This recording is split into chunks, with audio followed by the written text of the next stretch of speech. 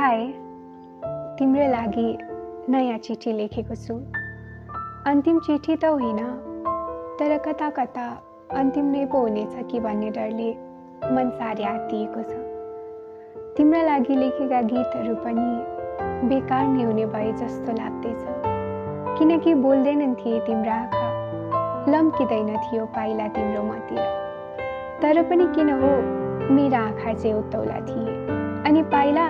चञ्चल थिए एकहोरो बोल्न मन पराउँथे एक्लै भए पनि तिमीतिर हेर्न मन पराउँथे ए मुटु अब त बिस्तारै धड्किन भन्दा जवाफमा अटेरी मुटु अझै रफ्तारमा दौडन्थ्यो लडेर घाउ तिमीलाई हुँदा गएर मलम लगाइदिउँ जस्तो लाग्दथ्यो हेर्दा हेर्दै हामी ठुला भयौँ सपना पनि ठुला भए मन तिम्रो कति नाच्दथ्यो अनि पाइला त्यो त चारैतिर बढ्दथ्यो कतै तिमीलाई ठेस लाग्दा अनि कतै तिमी हार्दा गएर तिम्रा दुःख जति मेरा है भन्न मन लाग्दथ्यो काश तिमीले आवाज सुनेको भए अनि काश तिमीले एकपटक मात्रै भए पनि आँखामा हेरेको भए।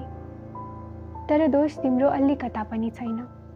हिम्मत गरी यो सब मैले भनेको पनि त होइन। फेरि तिम्रो कहानीमा खलनायक बन्नु पनि छैन।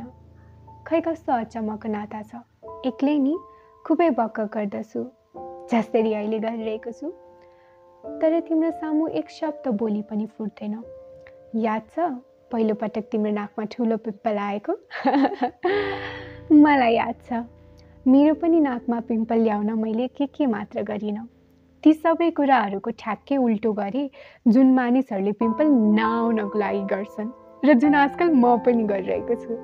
के के मात्र गरिनँ भन्छौ भने कति दिनसम्म म मुख नधोइ बस्थेँ अनि जुन दिन मुख धुन्थेँ जस्तो पाएँ त्यस्तै कपडाले मुख पुछिदिन्थेँ। अनि कसको के बस लाग्थ्यो र नाकको टुप्पोमै पिम्पल आएको थियो। How silly of me right कस्तो हाँसो लाग्दो। तर ती सबै मैले तिमी जस्तै देखिनको लागि गरेको थिएँ। तिम्रो दुःख सुनाएर एक दिन तिमी कति रोएका थियो? जवाफमा पाएर मैले सबै ठिकै हुन्छ मात्र भने। काश मैले अझै केही दुई चार शब्द बोलिदिएको भए तिम्रो मन शान्त पो हुने थियो कि? अनि याद छ तिमीलाई मनपर्ने मानिसहरूको बारेमा तिमीले बताएको? एकैछिन के गरौँ के नगरौँ भयो?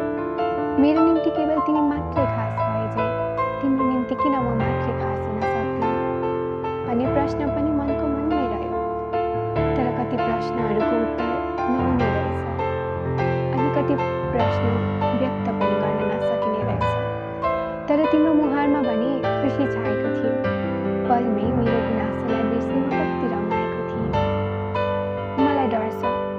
कतै चन्द्रमाले तिमीलाई यी सबै कुरा पहिले नै त भनिसकेको छैन। नभनोस् रात रातभरि जो माउसँग कुरा गरेर बस्थेँ त्यो पनि तिम्रो बारेमा। मैले तिमीलाई यी सबै कुरा गर्नु सायद तिमीलाई मन नपर्ला या त फेरि तिमीलाई अर्थहीन लाग्ला भनेर मैले भनेको छैन। तर पनि बिहानीको सुरुवात तिमीले मिठो निन्द्रा पाए कि पाएनौ सोच्दैमा जान्छ। अनि बेलुकी पनि तिम्रै मिठो निन्द्राको अर्ज बिन्तीमै जान्छ। यति धेरै खास भएर पनि तिमीलाई व्यक्त नगर्नुको कारण साँच्चै भन्नुपर्दा म आफैलाई पनि थाहा छैन। मुस्कान तिम्रो निकै प्यारो छ तर हाँसिराख है भन्ने हिम्मत छैन। तिमी सधैँ खुसी हुनु है भनेमा तिमी को हो मलाई सिकाउने? भन्छौ भन्ने डर लाग्छ। जे हुनेवाला छ त्यो हुन्छ भन्ने थाहा हुँदा हुँदै पनि म किन यति धेरै आतिएको होला? अनि म किन आफैलाई यस्तो प्रश्न गर्छु होला? मैले तिमीलाई किन यो सब भनिनँ भनेर नरिसाउनु? सायद रिसाउँदैनौ पनि। या त पक्का रिसाउँदैनौ? हेर न कल्पनाको सहरमा जिउने बानी अझै पनि गएकै छैन। कुनै बेला कुनै मोडमा टक्कर भएमा भनौला। तर सत्य तिमीलाई मन पर्दैन जस्तो कुरा गरेमा त्यही शब्दहरू रोकिदिनेछु।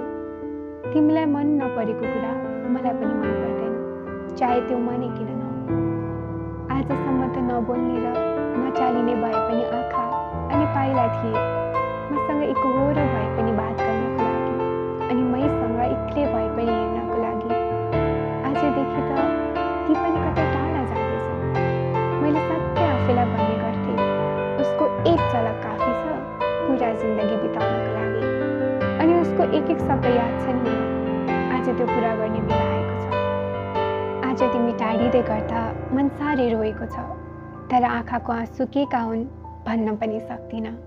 हाम्रो नाता के थियो त्यो पनि थाहा छैन। सोच्नु मेरो माया तिम्रो लागि आमाको जस्तै थियो। सायद यो भन्नु आफैमा अहङ्कार होला तर माया निस्वार्थ थियो। अहिले भूतकालका क्रियापद प्रयोग गर्दै गर्दा तिमी नआत्तिनु यसले तिम्रो निम्ति मेरो भावना सकिएको जनाएको होइन त। यसले त तिम्रो नयाँ संसारको बारेमा जनाएको जहाँ तिमी लड्दा तिमीलाई उठाउने होलान् तर पर बसेर तिम्रो घाउ निको हुने उपाय सोच्ने व्यक्तिहरू नहोलान्। तिमी रुँदा तिमीलाई रुमाल दिने व्यक्तिहरू पनि होलान् तर पर बसेर तिमीसँगै रुने व्यक्तिहरू नहोलान्। तिमीलाई मनपर्ने कुराको प्राप्ति होस् अनि सफलताले तिम्रो सिए चुमोस्। अहिलेलाई कलम यहीँ बन्द गरिदिन्छु है। जबसम्म कलमको मसी सकिँदैन र जबसम्म सकिएको मसी फेरि हालिँदैन तबसम्म लेखि नै रहनेछु। अहिलेको लागि पर भागिरहने पाइलालाई भाग्न दिए है त।